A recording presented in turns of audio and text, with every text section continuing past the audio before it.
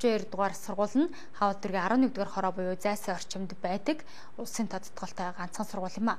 Гэтэл сургуулийн байр тусаал гоожиж мөөгөнцөрт идэгдэжээ.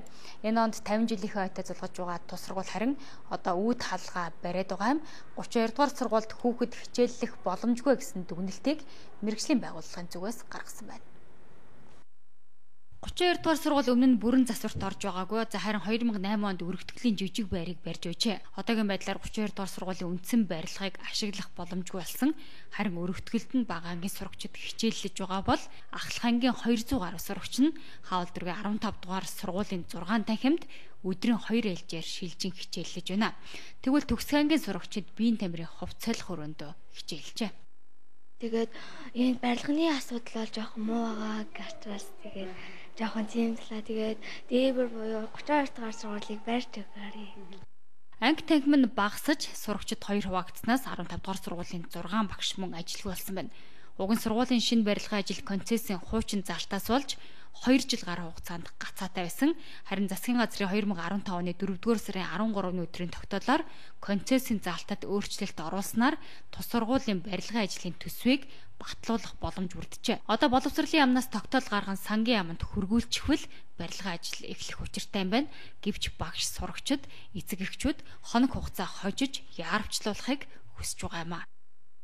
Барилга баригдаасаа гэл ерөөсө сэтгэл санаагаарч маш их хямраал одоо ингээл үргэлж ингээл хүүхдийн сурах боловсрох орчныг бүрдүүлэхийн төлөө эцэг эхчүүд бид нэр өөрөөсө цаг хугацаа гаргуул одоо энэ сургууль дээр ирээл одоо яаж ин яаж ин барилгын ажил аль шатандаа явж байна одоо бид нэр яах вэ? Ерөөсө бүхэл сэтгэл санаа маань сургууль дээр хийдэг. Манай хүүхэд одоо энэ жил 11 дугаар анги дараа жил 12 дугаар анги гэж одоо яг ингээд сургууль төгсөх болчоод идэг. А гэтэл одоо ингээд яг ингээд сургалтаасаа гадна ингээд тавтлага авъя, дуулын секцтэй хичээлье гэхээр ямар ч болцоогүй дараагийн анги ингээд шахаад ороод ирдэг. Нөхцөл нь бүрдэхгүй байгаа учраас одоо энэ сургуулийг хурдан барьж өгөөч. Энийг барьж өгөхийг бид нар шаардж байна. Эцэг эхчүүдийн зүгээс. Энэ амьдралаар гарч ирсэн үнэхээр сургууль нь нураад унчихсан. Одоо бохир нь задарчихсан Үнэхээр хүүхдүүд нь гудамж гарсан ийм сургуулиудын асуудал 3 ээлжээр хилцэж байгаа суралцж байгаа 4 ээлжээр суралцж байгаа гэл дандаа тулгамдсан. Тэгээ ингээ төрүүнээсээ шийднэ гэл ингээ шийдчихэд тэгээ яг засгийн газрын хурал дээр очихлээрээ одоо юу гэдгийг их хурлын гишүүдэд ингэж ойлгуулах нь зүйтэй. Одоо махан дээр нь ойлгуулна гэж байгаа юм уу? Одоо бидэн дээр бишэлтэй чи ард түмэнд ард түмний хүүхдүүд дээр ойлгуулдаг байгаа байхгүй юу?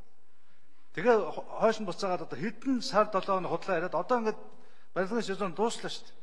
Барилгын ажил хийх хугацаа богино учраас эцэг эхчүүд инхүү бухимдаж байгаа юм а. Мөн 15 дугаар сургуулийн зүгээс тус сургуулийн сурагчдыг багтааж шингээж дийлэхгүй болсноо мэдэгдэж эрх намраас авч чадахгүй гэдгээ мэдгдсэн байна. Багангийн хүүхдүүд нь хэдийгээр 32 дугаар сургуулийн өргөтгөлийн жижиг хэсэгт хичээллэж байгаа ч анги танхимын орчин нөхцөл сурлага амжилтанд нөлөөлж хичээлээс бусад дугуулн секцэнд хамрагдаж давтлага авах боломж байдаггүйг багш нар нь учирлаж байлаа. Жишээлбэл одоо биеийн тамирын хичээл 7 хоногт 2 удаа ордог, заалтанд хичээлэх хэрэгтэй, хүүхдийн бие бэлтрийг хөгжүүлнэ гэж бид нар яриад байдаг. Тэгэхдээ яг үнэн чанартаа 7 хоногт ордог хоёр хичээлийн маань нэг нь яг 15 дахь сургуультаа зогцоод а зааланд явагддаг. А нэг хичээл нь болохоор зэрэг анги танхимдаа хичээлдэг. Концессийн гэрээгээр хэрэгжүүлэх юм шийдвэр гарсан хэдий ч яг одоогийн байдлаар бол засгийн газар концессор хэрэгжүүлэх зөвшөөрөл өгсөн мөртлөөсөө одоо боловсруулалтын яам, сангийн яамнаас одоо үйл ажиллагаа нь одоо бас ямар нэг байдлаар тэр зохих тогтоол шийдвэрийг гаргаж өгөхгүй байх гэж би ойлгож байна.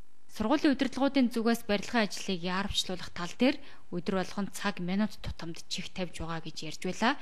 Эцэг эхчүүдийн зүгээс ч хүүхдүүдийнхээ эрүүл аюулгүй орчинд суралцах эрхийг нь хангуулахыг хүсэж байна.